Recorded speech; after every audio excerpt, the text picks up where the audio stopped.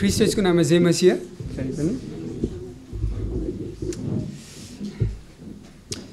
प्रियहरू तपाईँ र म यस्तो समाजमा जिइरहेका छौँ जहाँ मानिसहरू आफू केन्द्रित जिउँदछन्।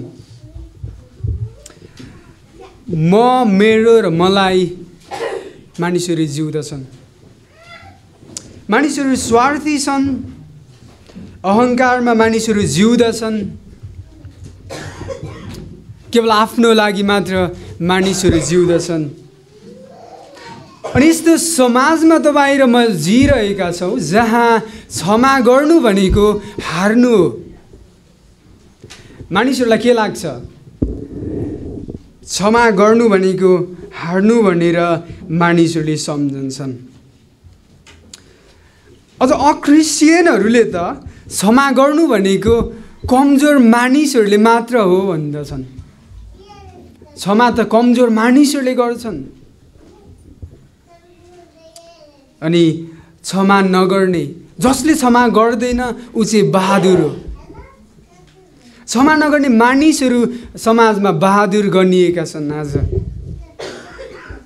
हाम्रो सामाजिक सञ्जालमा टेलिभिजनका टेलिभिजनहरूमा विभिन्न अरू अरू कुराहरूमा क्षमा नगर्ने मानिसहरूलाई हिरो बनाइन्छ। हिरो। अनि उनीहरूलाई सम्मान गरिन्छ हिरो भनेर। अनि तपाईँलाई थाहा छ अहिले बदला लिनुपर्छ भन्ने मानिसहरू सोच्दछन् र उनीहरूको विचारमा बदलाका भावनाहरू आइरहन्छन्। त्यसै कारण अहिलेका गीतहरू तपाईँले नेपाली गीतहरू सुन्नुभयो भनेदेखि तपाईँले थाहा गर्नुहुन्छ कि हाम्रा नेपाली गीत सङ्गीतहरू पनि बदलाको भावनाले ओतप्रोत भएका छन्। त्यसका लिरिक्सहरू त्यस त्यसका शब्दहरू बदलाको भावनामा निस्किएका गीतहरू छन्। बजारमा त्यो प्रशस्त छन् र उपलब्ध छन्। विशेष गरेर नयाँ पुस्ताका मानिसहरूमा प्रचलित भनाइ छ अथवा उनीहरूमा प्रचलित एउटा विचार छ क्षमा त काँदर मानिसहरूले मात्र गर्न सक्छन् अथवा गर्दछन्। किन किनकि उनीहरू सोध्छन् क्षमा गर्नु भनेको अथवा क्षमा दिनु र लिनु भनेको हार्नु हो। तर ख्रिस्ट यसुलाई चिन्ने मानिसहरूका निम्ति क्षमा लिनु र दिनु ऐच्छिक कुरा होइन। यो क्रिस्चियनहरूले म क्षमा लिन्न र दिन्न भन्नु हाम्रो यो यो यो तपाईँ र मैले चाह चाहने कुरा होइन। क्रिस्चियनहरूले अनि क्षमा लिन र दिन तपाईँ र मैले ऐच्छिक कुरा बनाउन सक्दैनौँ। क्षमा नदिनु भनेको परमेश्वरको विरुद्धमा उत्रनु हो र एउटा पाप हो। तपाईँले क्षमा नदिनु अथवा क्षमा नलिनु। परमेश्वरप्रतिको यो अनाज्ञाकारी कार्य बन्ने कुरा हो। यसले मानिसको पाप र उसको भ्रष्टतालाई देखाइरहँदछ जब मानिसहरूले एकअर्कालाई क्षमा गर्न सक्दैनन्। पलले एफिसीको पत्र लेख्दै गर्दा प्रष्ट रूपमा भन्नुहुन्छ हामीले एकअर्कालाई क्षमा दिनुपर्दछ। उहाँले क्रिस्चियनहरूलाई भन्दै हुनुहुन्छ फलले क्षमा दिन नसक्नुले तितोपना ल्याउँदछ हृदयमा तितोपना ल्याउँदछ। अनि जबसम्म विश्वासीहरूमा अथवा तितोपनाले राज गर्दछ उनीहरूको हृदयमा तितोपनाले भरिदछ उनीहरूले अरूलाई क्षमा दिन सक्दैनन्। तितोपना केवल पाप मात्र होइन यो त हानिकारक छ। यसले मानिसलाई हानि पुर्याउँदछ। अनि हिब्रूका लेखकले यसो भनेका छन् ध्यान दियो कि कुनै मानिस परमेश्वरको अनुग्रह प्राप्त गर्नदेखि वञ्चित नहोस् ताकि तितोपनाको ज्वरो उम्रेर आइकन त्यसले फुट नल्याओस् र धेरैजनालाई अशुद्ध नपारोस्। आज हामी फिलेमोनको पत्रमा छौँ। तपाईँ यदि हाम्रो चर्चमा निरन्तर सङ्गति गर्न आइराख्नु भएको छ भनेदेखि हामीले हिब्रूको पुस्तकबाट वचन प्रचार सुनिरहेका थियौँ। र गएको दुई हप्ता हामीले रोमीको पुस्तकबाट वचन सुनेका छौँ। र अहिले र आज र अर्को हप्ता प्रभुको इच्छामा हामी जीवितै रह्यौँ र उहाँको आगमन भएन भनेदेखि हामी फिलेमनको पुस्तकबाट सुनेछौँ। र क्षमाको सुन्दरता भन्ने यो श्रृङ्खलामा हामी छौँ हुनेछौँ दुई हप्ता। क्षमाको सुन्दरता र आज यस बिहान हामी पहिलो भाग हेर्नेछौँ। क्षमाको सुन्दरता। मसँग तपाईँले आफ्नो बाइबल पल्टाउनुहोस् न। आफ्नो बाइबलमा फिलेमोन फिलेमोनको पुस्तक। फिलेमोनको पुस्तकबाट हामी हेर्नेछौँ। फिलेमोनको पुस्तक एउटा सानो पुस्तक हो। यसमा जम्मा एक अध्याय छ। पदहरू जम्मा पच्चिस छन्। पच्चिस पदहरू। फिलेमनको पुस्तक पावलले लेखेको पत्रहरूमध्ये एक सानो पुस्तक हो बाइबलको बाइबलमा तपाईँले सबैभन्दा साना पुस्तकहरूमध्ये फिलेमन पनि एक हो। पावलले लेखेको मध्ये चाहिँ यो सबैभन्दा सानो पुस्तक हो। मैले तपाईँलाई भने यसमा जम्मा पच्चिस पदहरू छन्। यो निकै छोटो छ तर यो पत्र निकै महत्त्वपूर्ण पनि छ। पावलले यहाँ ठुला ईश्वर शास्त्रीय सिद्धान्तहरू सिद्धान्तहरूको विषयमा कुरा गर्नुहुन्न। ज जसरी उहाँले अरू पत्रहरूमा कुरा गर्नुहुन्छ तपाईँले रोमीको पुस्तक पढ्नुभयो भने पावलले गहन र गहिरा सिद्धान्तको विषयहरू कुरा गर्नुहुन्छ र व्यवहारिक पक्षका क्रिस्चियन जीवनका व्यवहारिक पक्षहरूमा पनि उहाँले कुरा गर्नुहुन्छ। तर यस फिलिमलको पत्रमा उहाँले लगभग प्रयोगआत्मक कुराहरू अथवा व्यवहारिक पक्षहरूमा उहाँले कुरा गर्नुहुन्छ।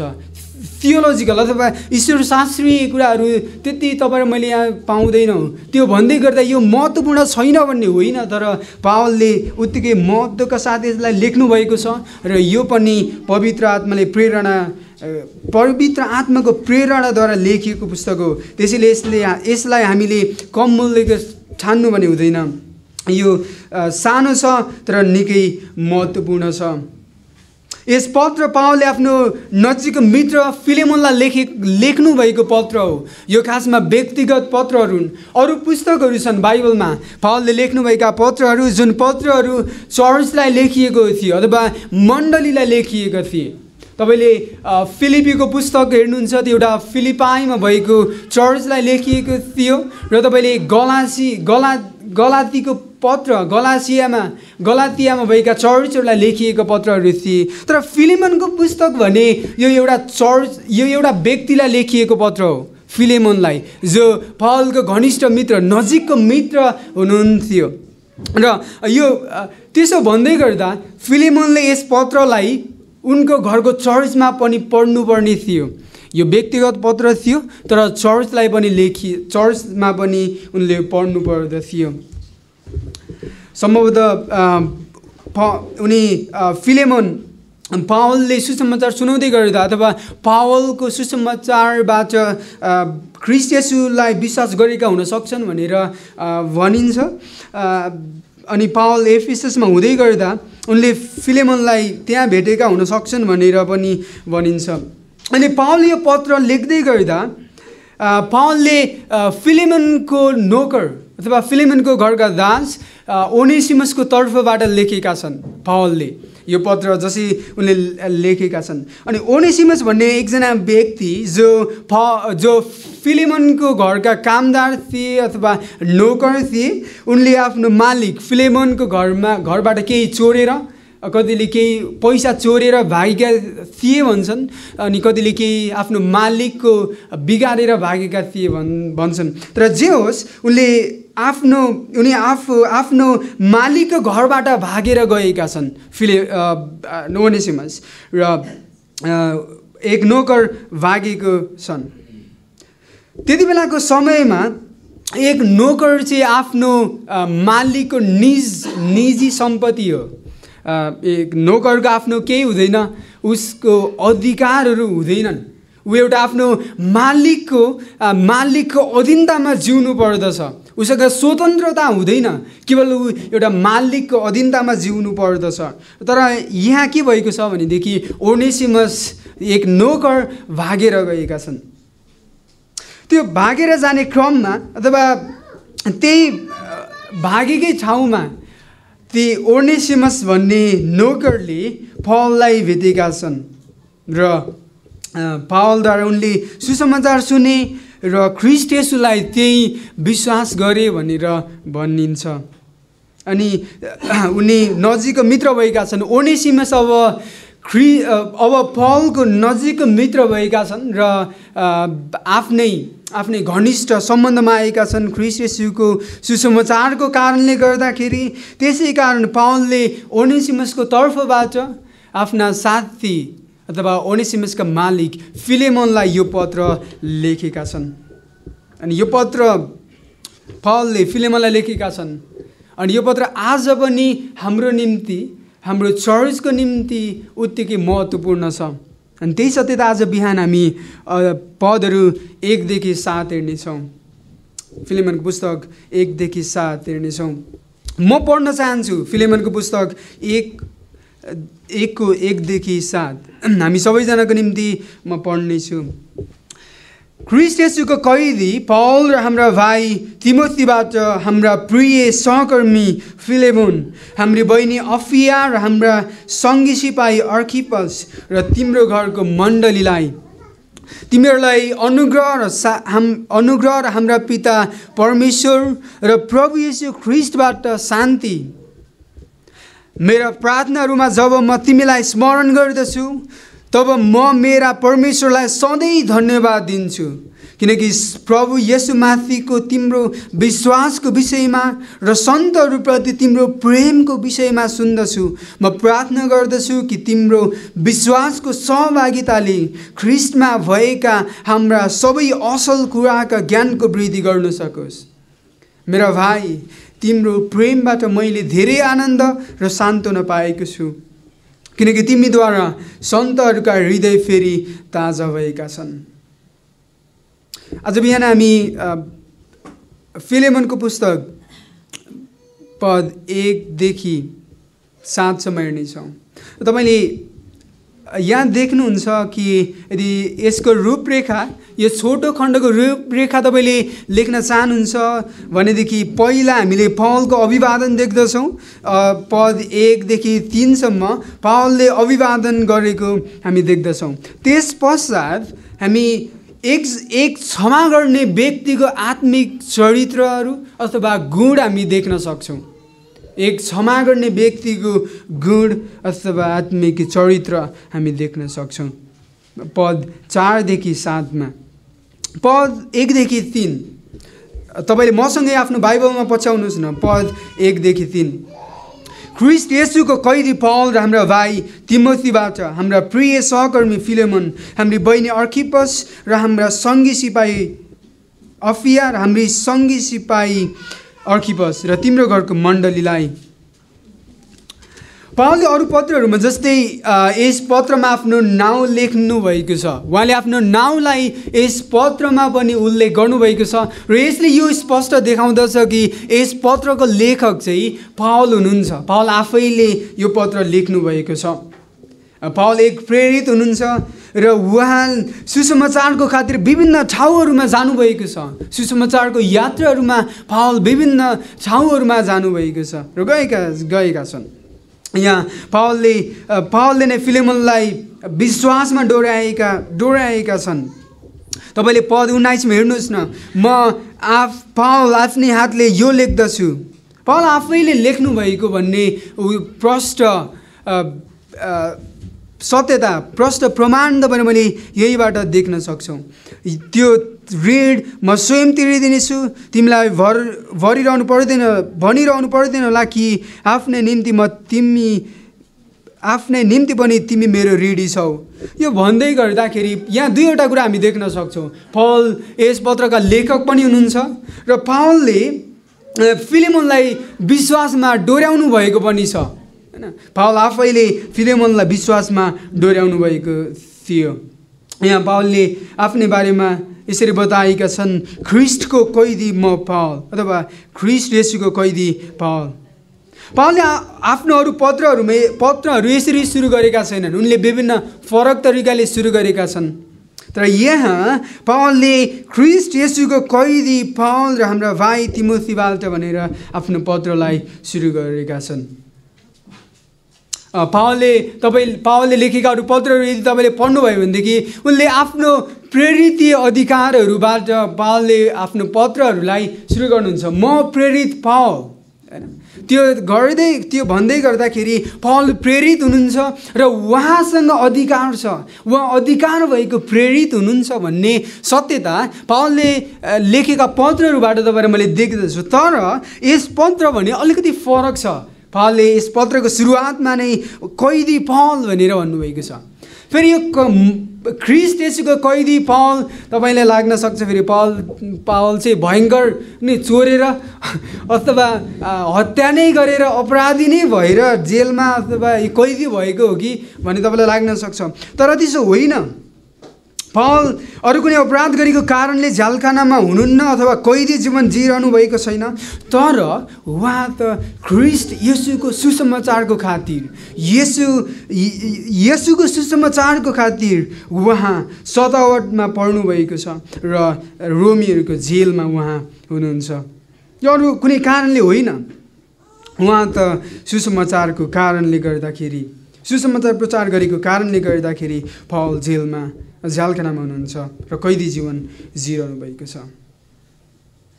पावल जो कुनै समय क्रिस्चियनहरूलाई सदाबाट गर्ने मानिस तपाईँले प्रेरितको पुस्तकमा हेर्नुहुन्छ भनेदेखि पावल अ, अतिवादी जस्तै थिए। पावल एक क्रिस्चियनहरूलाई सदावट गर्ने क्रिस्चियनहरूलाई मार्न चाहने व्यक्ति हुन् पावल आफै। प्रेरितको पुस्तक पढ्नुहोस् तपाईँले।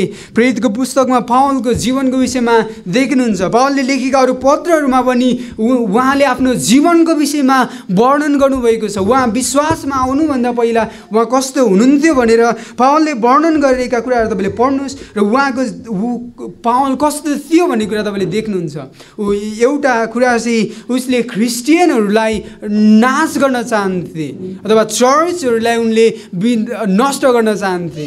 पावलको उद्देश्य त्यो त्यो थियो उनको मिसन त्यो थियो। तर जब पावलले ख्रिस्ट येशूलाई विश्वास गरे अब उनको मिसन बदलिएको छ। कुनै समयको कुख्यात क्रिस्चियनहरूलाई सतावट गर्न गर्ने मानिस चर्चहरूलाई चर चर्चहरूलाई विनाश गर्न चाहने एक मानिस अब चर्चको निम्ति अथवा सिद्धान्तको निम्ति र सुसम येसु ख्रिस्टको सुसमाचारको निम्ति आफै कैदी जीवन बिताउनको निम्ति पावल राजी भएका छन् र सुसमाचारको खातिर उनी सतावट भोग्नको निम्ति तयार भइरहेका छन्। त्यही कुरा तपाईँहरू मैले यहाँ देख्दछौँ। पावल एक कैदी।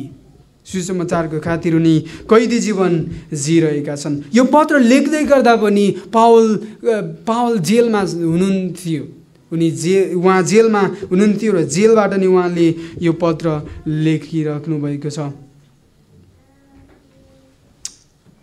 पावलले यो बताउँदै गर्दाखेरि फिलेमोनलाई थाहा छ पावल येसु ख्रिस्टको खातिर त्यहाँ हुनुहुन्छ। फिलेमोनलाई त्यो थाहा छ। पावल कुनै अपराध गरेर जेलमा कैदी जीवन बिताएको छन् भन्ने होइन। उसलाई थाहा छ प्रष्ट रूपमा येसुको सुसमाचारको खातिर पावल जेलमा हुनुहुन्छ भन्ने फिलेमोनलाई थाहा भएको कारणले गर्दा पावलले त्यही कुरा उल्लेख गर्दा फि फिलेमोनलाई यो कुनै पनि सरप्राइज अथवा कुनै पनि यो अचम्म लाग्नु नलाग्न सक्छ लागेको छैन। जसै पावलले यो उल्लेख गर्नुहुन्छ आफूलाई ख्रिस्ट येसुको कैदी भनेर यस पत्रमा अनि पावलले यो बताउन चाहन्छन् चाहनुहुन्छ कि ख्रिस्ट येसुको खातिर म दुःख भोगिरहेको छु? ख्रिस्ट येसुको खातिर मै म दुःख भोग्न तयार छु? तिमी पनि येसुको खातिर अथवा फिलेमोन पनि येसु येसुलाई विश्वास गरेको कारण आफ्नो नोकरलाई आफ्नो भागेको भागेर गएको नोकरलाई क्षमा दिन सक्नु पर्दछ र यो असम्भव छैन। तिमीले दिनुपर्छ भन्ने पावलले सिकाउन चाहनुहुन्छ। त्यसकारण पावलले यो कुरा उल्लेख गर्नुहुन्छ। यहाँ तिमोथीको नाउँ पनि तपाईँले देख्नुहुन्छ। अभिवादनमा पावलले बताउनुहुन्छ यसुको कैदी पावल र हाम्रा भाइ तिमोथीबाट यसो सुन्दै गर्दा प तिमोथीले पनि यो पत्र लेखेका हुन् कि भन्ने लाग्न सक्छ। तर तिमोथी यसका सहलेखक भने होइनन्। पावलका उनी सहकर्मी थिए। उनको सेवकाईमा पावलले सहायता गरिरहेका छन्। तर यसका लेखक पावल हुनुहुन्छ। तिमोथी उहाँको सहायक मात्र हुन् र विश्वासयोग्य मित्र मात्र हुन्। पद दुईमा तपाईँले देख्न सक्नुहुन्छ। पद दुईमा हाम्रा प्रिय सहकर्मी फिलेमोन हाम्रो बहिनी अफिया र हाम्रा सङ्गी सिपाही अर्किफस र तिम्रो घरको मण्डलीलाई मसँग तपाईँले हेर्नुहोस् आफ्नो बाइबलमा पद दुई। पावलले यहाँ हाम्रा प्रिय प्रिय सहकर्मी फिलेमोन भन्नेका छन्। फिलेमोन एक कलसेमा भएका चर्चको उनी धनी सदस्य थिए भनेर मानिसहरूले भन्छन्। धनीहरूले मात्र केवल नोकरहरू काम गर्ने मानिसहरू पाल्न सक्दथे र यसले देखाउँदछ कि उनी धनी व्यक्ति थिए चर्चको सक्रिय सदस्य पनि थिए।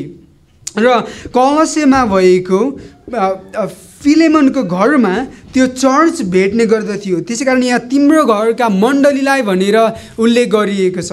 उनीहरू फिलेमनको घरमा एक चर्चको रूपमा घरको चर्चको रूपमा भेला हुने गर्दथे। र पावलले यहाँ अफिया र अर्खिपस पनि उल्लेख गरेका छन्। अनि कतिले भन्ने गर्दछन् अफिया फिलेमनको श्रीमती हुन सक्छिन्। अनि अर्किपस चाहिँ फल फिलेमनको छोरा हुन सक् हुन सक्छन्। तर हामीलाई उनीहरूको विषयमा अरू पत्रहरूमा उल्लेख गरिएको छैन र त्यो प्रष्ट रूपमा पनि बताइएको छैन। जे होस् उनीहरू नजिकका पावलका मित्रहरू छन् त्यसै कारण पावलले यस पत्रमा उनीहरूलाई उल्लेख गर्नुभएको छ।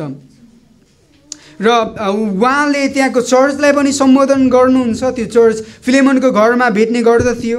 अनि पहिलो शताब्दीका चर्चहरू अथवा पहिलो शताब्दीका क्रिस्चियनहरू चाहिँ एउटा घरमा उनीहरू घरमा भेला हुने गर्दथे। त्यो त्यसै कारण घरका मण्डलीहरू तपाईँहरू मैले देख्न सक्दछौँ। त्यो यी- पनि एउटा घरको मण्डली थियो र फिलेमोन त्यहाँका एक सक्रिय सदस्य थिए अनि पावलले यो पत्र फिलेमोनलाई पठाउनुहुन्छ र फिलेमोनमा फिलेमोनको घरमा भेट्ने त्यस मण्डलीले पनि यो पत्र सुन्नुहोस् भन्ने पावल चाहनुहुन्छ र त्यो चर्चलाई पनि त्यो घरको मण्डलीलाई पनि पावलले सम्बोधन गर्नुहुन्छ। अनि त्यही कुरा हामी यहाँ देख्न सक्दछौँ। अनि अर्को एउटा पद तिनमा तिमीहरूलाई अनुग्रह र हाम्रा पिता परमेश्वर र प्रभु येशू ख्रिस्टबाट शान्ति। पावलको यो प्राय जसो पत्रहरूमा तपाईँले देख्न सक्नुहुन्छ। पावलले लेखेका अरू पत्रहरू तपाईँले पढ्नुहोस्। लगभग उहाँले यस्तै अभिवादन उहाँले अरू विभिन्न पत्रहरूमा पनि गर्नुभएको छ र यो उहाँको गर्ने तरिका हो।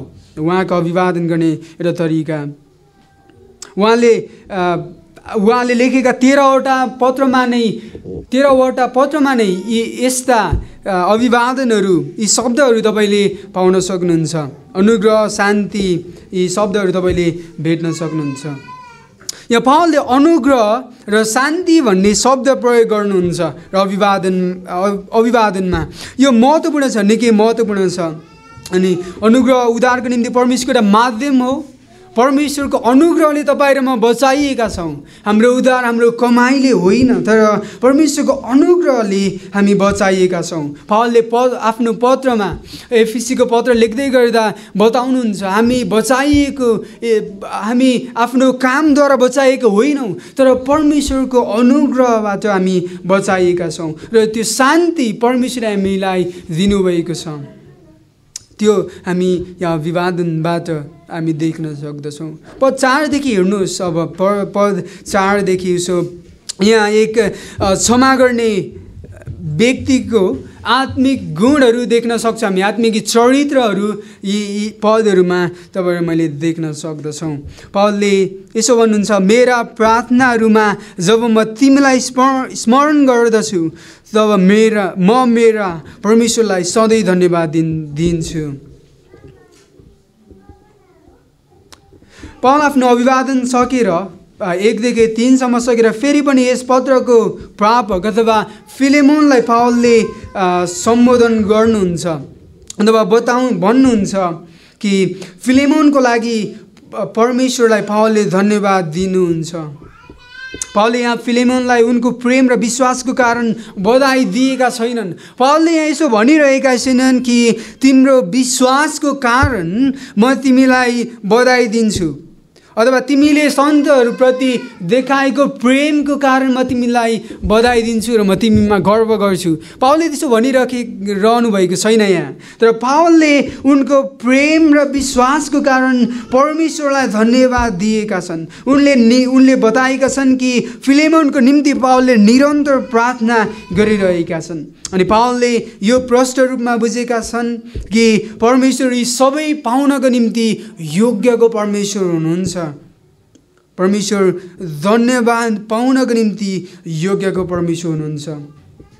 किन किनकि परमेश्वर जो अनुग्रह गर्नुहुने परमेश्वर परमेश्वर जो शान्ति हामीलाई दिनुहुने परमेश्वर उहाँ परमेश्वर यी सबै कुरा पाउनको निम्ति योग्यको हुनुहुन्छ।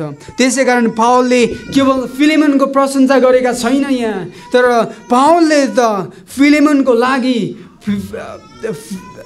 परमेश्वरलाई धन्यवाद दिइरहेका छन् सधैँ निरन्तर धन्यवाद दिइरहेका छन्। मेरा प्रार्थनाहरूमा जब म तिमीलाई स्मरण गर्दछु तब म मेरा परमेश्वरलाई सधैँ धन्यवाद दिन्छु। पाउलले यसो भन्नुको अर्थ उसले दिनरात नै फिलिमोनलाई सम्झिरहेको छन् अथवा दिनरात नै धन्यवाद दिइरहेका छन् भन्नु पनि होइन तर पावलले जब जब फिलेमनको निम्ति प्रार्थना गरिरहेका छन् उनले निरन्तर परमेश्वरलाई उसको लागि धन्यवाद दिइरहेका छन्। त्यो तपाईँलाई मैले बुझ्न सक्दछु। पावलले फिलेमनको निम्ति धन्यवाद धन्य धन्यवाद दिएका छन् परमेश्वरलाई। अनि धन्यवाद उनी धन्यवादी छन् परमेश्वरप्रति।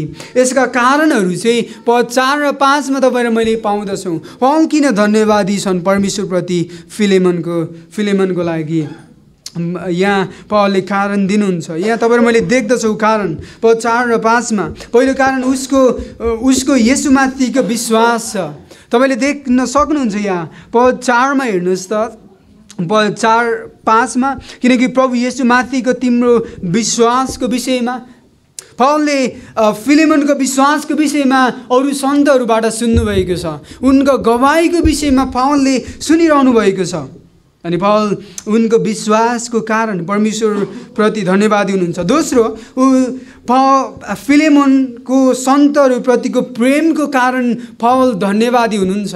उनी उनी आफ्नो घरको मण्डलीमा भेला हुने मानिसहरूप्रति प्रेमिलो छन् फि फिलेमोन। उनले प्रेम गरेका छन्। उनको प्रेमको कारणले गर्दा पावल परमेश्वरप्रति धन्यवादी हुनुहुन्छ।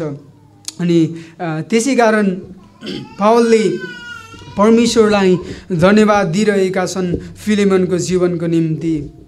यस पत्र लेख्दै गर्दा पनि तपाईँले देख्न सक्नुहुन्छ पद एकदेखि पच्चिससम्म तपाईँले पढ्दै गर्दाखेरि पावलले कडा शब्दहरू प्रयोग गर्नुभएको छैन यहाँ। जुन अरू पत्रहरूमा प्रयोग गर्नुभएको छ। तपाईँले गलादीको पुस्तक पढ्नुहोस् पावलले गलादीको चर्चलाई एउटा कडा शब्द प्रयोग गर्नुभएको छ।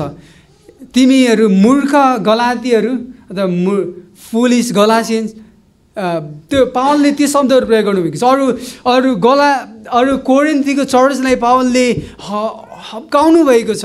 होइन? अरू अरू पत्रहरूमा पनि त्यस्तै देख्दछौँ तर फिलिमोनलाई लेख्दै गर्दा फिलिमोन लाई पावलले त्यस्तो खडा शब्दहरू प्रयोग गर्नुहुन्न।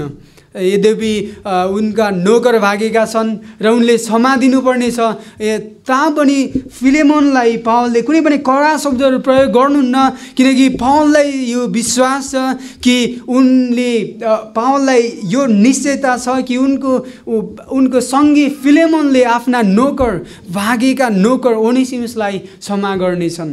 किन किनकि उनले सन्तहरूलाई प्रेम गरेका छन्। र उनको ख्रिस्ट येसुमाथिको विश्वास गहिरो छ। त्यो तपाईँले मैले यहाँ देख्न सक्दछौँ।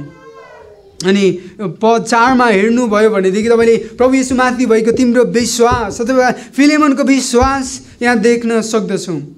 एक नयाँ गरी जन्मिएको साँचो क्रिस्चियनले परमेश्वरको इच्छा खोज्दछ अनि उसले परमेश्वरलाई प्रसन्न तुल्याउने तुल्याउन चाहन्छ।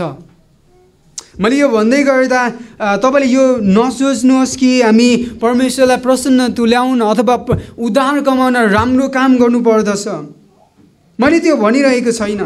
तर उद्धार पाएकाहरूले मात्र यसो गर्न सक्दछन्।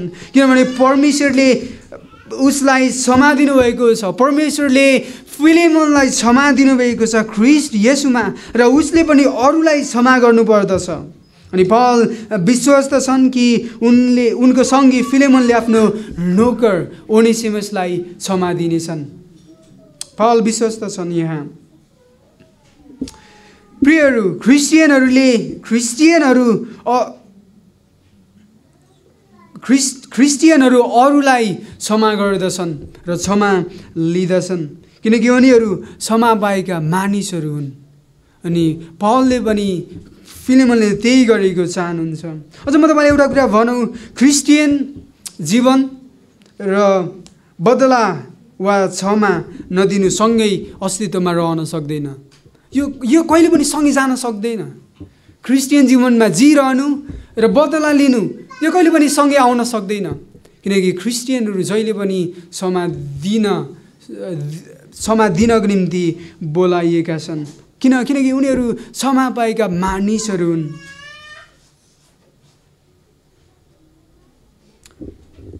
कि तपाईँले क्षमा दिन सक्नुहुन्छ अथवा क्षमा गर्नुहुन्छ वा त तपाईँ बदला दिनुहुन्छ। यो तपाईँ दुवै एकैचोटि गर्नु हुँदैन। तपाईँले बदला लिएर क्षमा गर्छु भन्नु हुँदैन तर तपाईँले क्षमा गर्न गर्नुहुँदछ। क्रिस्चियनहरूले क्षमा लिन्छन् र क्षमा दिन्छन्। किनकि उनीहरू परमेश्वरसँग मिलापमा आएका मानिसहरू हुन्। यसो ख्रिस्टको कामको यसो ख्रिस्टको क्रिस्टको कामको कारणले गर्दा उनीहरू क्षमा पाएका मानिसहरू हुन् र परमेश्वरमा मिलापमा आएका छन्। तर अख्रिस्टियनहरूसँग त्यो क्षमता छैन। उनीहरूसँग त्यो क्षमता छैन। पावलले रोमीको पत्र लेख्दै गर्दा अब यो बताउनुहुन्छ। रोमीको तिनको दसदेखि सोह्रमा भन्नुहुन्छ जसो लेखिएको छ धर्मी कोही छैन एकजना पनि छैन बुझ्ने कोही छैन। परमेश्वरलाई खोज्ने कोही छैन ती सबै बरालिएका छन्। तिनीहरू एकसाथ बेकाममा भएका छन् कसैले असल गर्दैन। असल गर्ने एकजना पनि छैन। तिनीहरूका घोक्रा खुल्ला चियानुन्। तिनीहरू आफ्ना जिब्रोले छलका कुरा गर्छन्। सर्पको विष तिनीहरूको ओठमा छ। तिनीहरूका मुख शराब र तिता कुराले भरिएका छन्। तिनीहरूका खुट्टा रक्तपात गर्नलाई छिटा छन्। विनाश र दुर्दशा तिनीहरूको बाटोमा छन्। तपाईँले यहाँ देख्नुहुन्छ तिनीहरूका तिनीहरू आफ्ना जिब्रा छल तिनीहरू आफ्ना जिब्राले छलका कुरा गर्छन्। अनि तपाईँले माथि देख्न सक्नुहुन्छ असल गर्ने एकजना पनि छैन। प चौधमा तिनीहरूका मुख शराब र तिता कुराले भरिएका छन्। तितोपनाले उनीहरू भरिएका छन्। प पन्ध्रमा तिनीहरूका खुट्टा रक्तपात गर्नलाई छिटा छन्। उनीहरूले क्षमा गर्न सक्दैनन्। ती मानिसहरूले ती मानिसहरू जो तितोपना हृदयमा पालिराखेका छन् उनीहरू एकअर्कालाई क्षमा गर्न सक्दैनन्। उनीहरू एकअर्कालाई क्षमा गर्न सक्दैनन्। क्षमा दिने मानिसको अर्को चरित्र वा गुण उनीहरू मानिसप्रति जिम्मेवारी हुँदछन्। मानिसप्रति उनीहरू चासो राख्दछन्। पद पाँचको खमा हेर्नुहोस् न तपाईँले त्यहाँ देख्नुहुन्छ। सन्तहरूप्रति तिम्रो प्रेमको विषयमा सुन्दछु। सन्तहरूप्रति उनीहरू चासो राख्दछन् ती क्षमा दिने मानिसहरू। प्रेम यो प्रेम यो खालि भावनात्मक प्रेम पावलले कुरा गरिराख्नु भएको छैन। यो त स्व प्रेम र बलिदानी पूर्वक गरिने प्रेमको विषयमा पावलले कुरा गर्नुहुन्छ। अनि प्रेम पवित्र आत्माको फल गलती पाँचको बाइसमा तर पवित्र आत्माको फल चाहिँ प्रेम आनन्द शान्ति धैर्य दला दया भलाइ विश्वसता। र यो साँचो परिवर्तनको बाहिर देखिने परिणाम पनि हो प्रेम। क्रिस्चियनहरूलाई यो सिकाइराख्नु पर्दैन। क्रिस्चियनहरूलाई यो प्रेम गर्नुहोस् अथवा गरिरहनुहोस् भन्ने कुरा सिकाइरहनु पर्दैन। यस प्रेमको स्रोत उनीहरूमा पहिले नै बास गर्नुभएको छ। रोमी पाँचको पाँचमा यसरी भनिएको छ आशाले हामीलाई निराश गराउँदैन किनकि हामीलाई दिएको पवित्र आत्माद्वारा परमेश्वरको प्रेम हाम्रा हृदयमा खनाइएको छ। पवित्र आत्माद्वारा परमेश्वरको प्रेम हाम्रा हृदयहरूमा खनाइएको छ। यसकारण त हामी एकअर्कालाई प्रेम गर्न सक्दछौँ अनि हामी समा पाएका मानिसहरू एकअर्कालाई प्रेम गर्न सक्दछौँ। अनि यो क्षमा गर्ने मानिसहरूका क्षमा पाएका मानिसहरूको एक गुण हो। उधार पाएको मानिसको अर्को चरित्र पद छमा हामी देख्न सक्दछौँ। सन् सन्तहरूसँगको उनीहरूको सङ्गति हो। उनीहरू सन्तहरूसँग सङ्गतिमा रहन्छन्। तपाईँले पद छमा हेर्नुहोस् न तिम्रो विश्वासको सहभागिताले ख्रिस्टमा भएका हाम्रा सबै असल कुराको ज्ञानको वृद्धि गर्न सकोस्। यहाँ सङ्गति तपाईँ र मैले यहाँ देख्दछौँ। उनीहरू सङ्गतिमा रहन्छन्। यहाँ कुनै पनि एकलवाद छैन। अथवा एक्लै एक्लै जिउने भन्ने कुरा छैन। फिलेमोनको सन्तहरूसँगको सङ्गतिप्रतिको चासोले यो देखाउँदछ कि उनी ओर्नेसिमसलाई क्षमा गर्न सक्नेछन्। उनीहरू उनी सङ्गतिप्रति चासो राख्दछन् र सन्तहरूसँगको सङ्गतिमा उनी छन्। यदि क्षमा दिन नसकेको खण्डमा यहाँ सङ्गति भाँडिनेछ किनभने अब उसो नोकरले यसो ख्रिस्टमाथि विश्वास गरेको छ र त्यो नोकर अब ख्रिस्टमा एक भाइ भएको छ। उद्धार पाएको मानिसले क्षमा दिन सक्दछ र सङ्गतिमा रहन्छ। तपाईँले यहाँ देख्नुहुन्छ विश्वासको सहभागिता भन्ने शब्द तपाईँले देख्नुहुन्छ। विश्वासको सहभागिता। तपाईँले अङ्ग्रेजी बाइबलमा एएसबी बाइबलमा तपाईँले यदि पढ्नुभयो भनेदेखि तपाईँले त्यहाँ सेयरिङ अफ यो फेथ भनेको छ। सेयरिङ अफ यो फेथ अनि यो शब्द ग्रिकमा क्वाइनेनिया भन्ने शब्दबाट आएको यो सहभागिता जुन नेपाली बाइबलमा छ यो क्वाइनेनिया भन्ने शब्दबाट आएको। यसको अर्थ एक अर्कासँग सङ्गति भन्ने हुन्छ। एकअर्कासँग गरिने सङ्गति। केवल भेटघाट मात्र होइन। यो केवल एकअर्कासँग मात्र गरिने सङ्गति मात्र होइन। यो त्योभन्दा अझ बढी छ। यो त खासमा साझेदारीता हो। यो त एकअर्कासँगै हिँड्ने कुरा हो। यो साझेदारी साझा रूपमा गरिने कार्य हो यो। पालले यहाँ यसलाई उल्लेख गर्दै गर्दा फिलिमले निश्चय पनि यो महसुस गरिरहेका छन् कि ओनेसीमा सब केवल एक नोकर मात्र होइन। तर अब ऊ एक साझेदार साझेदारितामा उनी ख्रिस्टको काममा साझेदार भएका छन्। अब विश्वासमा एक भाइ भएका छन्। यहाँ यो नेपाल बाइबल सोसाइटीमा लेखिएको नेपाल बाइबल सोसाइटीको बा बाइबल तपाईँसँग छ भनेदेखि यहाँ एउटा शब्द तपाईँले भेट्नु हुँदैन। प्रभावकारी भन्ने शब्द यहाँ छैन। अङ्ग्रेजीमा इफेक्टिभ भनेको छ। यहाँ टिभीएस बाइबलमा चाहिँ प्रभावकारी भन्ने शब्द चलाएको छ अति महत्त्वपूर्ण छ। तपाईँले विश्वासको सहभागिता बुझ्दै गर्दाखेरि अथवा यो सङ्गति बुझ्दै गर्दाखेरि प्रभावकारी भन्ने शब्द अति नै महत्त्वपूर्ण छ।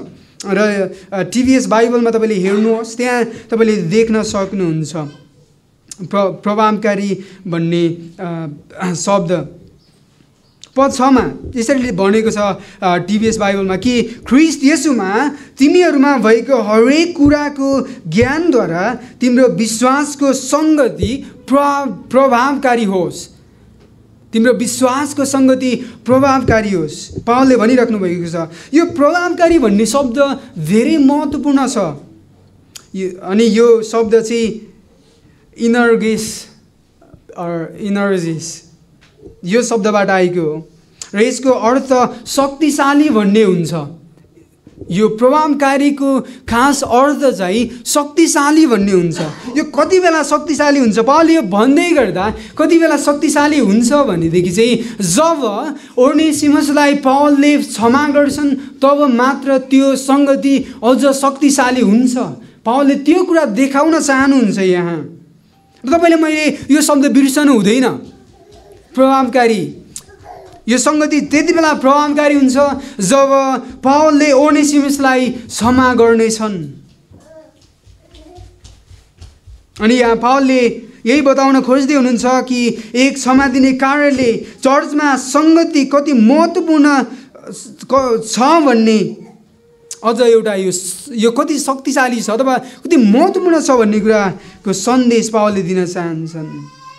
अब त्यहाँ मालिक नगर होइन। तर यसो ख्रिस्टमा सबै एक भएका छन्। पावलले गलतीको पत्र लेख्दै गर्दा भन्नुहुन्छ अब न यौदी न ग्रिक न कमरा न फुक्का न त पुरुष न स्त्री किनभने ख्रिस्ट यसोमा तिमीहरू सबै एउटै हौ। पद पद छमा तपाईँले फेरि हेर्नुहोस् न ख्रिस्ट यसोमा तिमीहरूमा भएको एक असल ज्ञानद्वारा। क्रिस्टियनहरू हाम्रा प्रभु येशू ख्रिस्टका परमेश्वर र पिताको प्रशंसा होस् जसले हामीलाई स्वर्गीय स्थानहरूमा हाम्रो आत्मिकी आशिषले ख्रिस्टमा आशीर्वाद दिनुभएको छ। पावलले नै एफिसीको एकको तिनमा यो बताउनुहुन्छ। उनीहरू अब नयाँ नयाँ भएका छन्। क्रिस्टियनहरू नयाँ भएका छन्। कसरी फिल्मले यो यो असल कुरा थाहा गर्न सक्छन्? यहाँ भनिएको असल कुरा पद छको खमा सबै असल कुराका ज्ञानको वृद्धि गर्न सकोस्। कसरी उनले यो थाहा गर्न सक्छन्? असल कुरा। यो ज्ञान केवल केही केही जान्ने कुराको जान्ने ज्ञान मात्र होइन। यो त सत्यतासँग जोडिएको छ यो ज्ञान। प फिलेमनले समातिने विषयमा पढेका छन्। निश्चय नै पढेका छन्। पल पलसँगको सङ्गतमा उनीसँगको सङ्गतिमा फिलेमनले क्षमा दिएको विषयमा सुनेका छन्। मलाई विश्वास छ।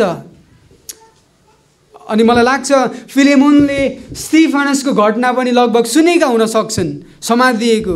यसुले दिनुभएको समाको विषयमा प फिलेमोनले सुनेको हुन निश्चय नै सुनेका छन्।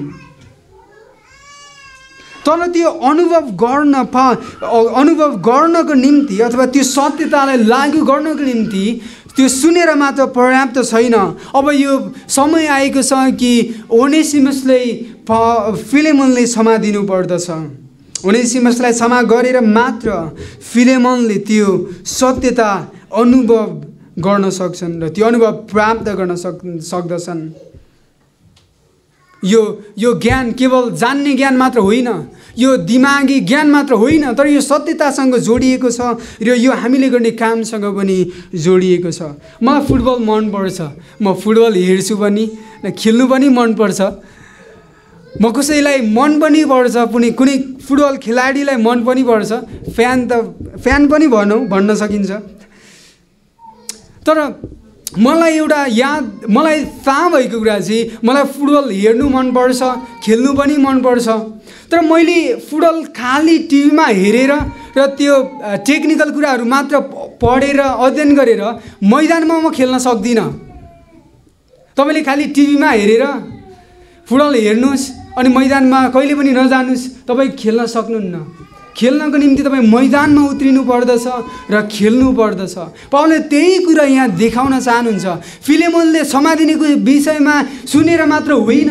उसले अब त्यो ज्ञानलाई उसले लागू गर्नु पर्दछ उसले क्षमा ओर्ने समस्यालाई दिनु पर्दछ तब मात्र उसले त्यो ज्ञानलाई अनुभव गर्ने गर्न सक्दछन्।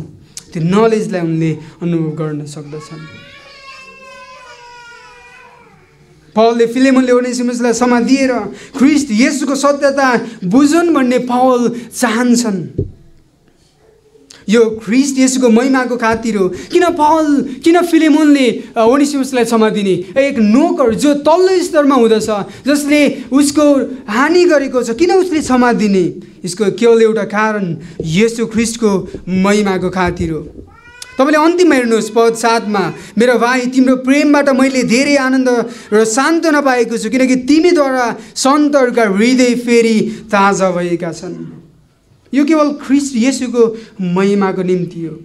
ख्रिस्ट यसुलाई विश्वास गर्नेहरूको एकमात्र लक्ष्य ख्रिस्ट यसुको महिमा गर्नु हो। उनीहरूको जीवनको एकमात्र लक्ष्य परमेश्वरको महिमा उनीहरूको जीवनमा खोज्नु हो। हामीले जे गर्छौँ उहाँको महिमा खोज्दछौँ। यदि कोही ख्रिस्ट येसुको महिमा खोज्दछ भने निश्चय नै उसले अरूलाई समाज दिँदछ तपाईँ र मैले यो भन्न सक्दैनौँ म यसुको मेरो जीवनबाट यसुको महिमा गर्न चाहन्छु र म मेरो हानि मलाई हानि पुर्याउने मेरो भाइलाई अथवा मेरो दाईलाई म क्षमा गर्दिनँ। प्रिय तपाईँले मैले त्यो भन्न सक्दैनौँ। ख्रिस्टियसको महिमा खोज्ने व्यक्तिले एकअर्कालाई क्षमा दिँदछ। पद सातमा फिलेमोनको प्रेमले धेरै सन्तहरूलाई आनन्द मिलेको छ र सान्त्वना पाएका छन्। अनि सन्तहरूको हृदय फेरि ताजा भएको छ। यो ताजा भन्ने शब्द तपाईँले याद गर्नुहोस् त। तपाईँले ताजा भन्ने शब्द पावलले यहाँ प्रयोग गर्नुभएको छ।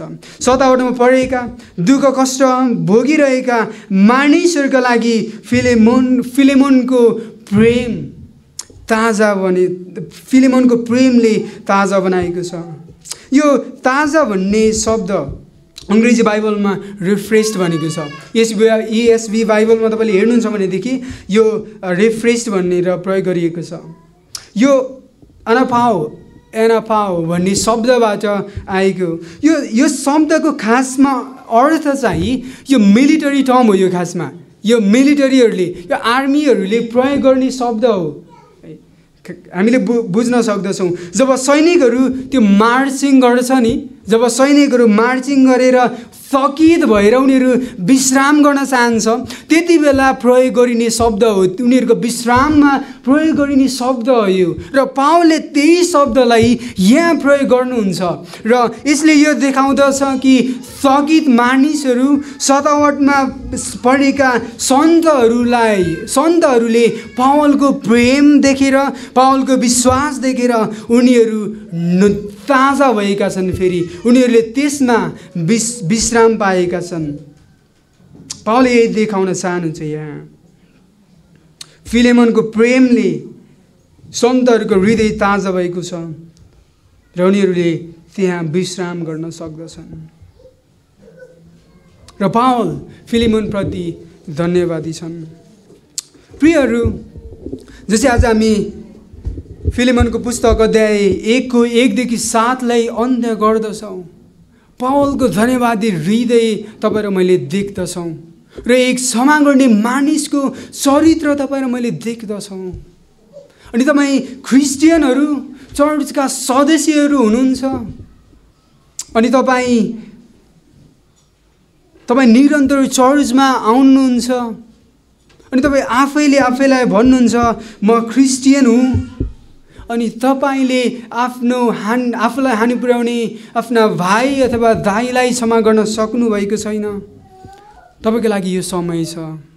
हामीलाई थाहा छैन हामीले भोलि देख्छौँ या देख्दैनौँ तर तपाईँको लागि आज समय छ।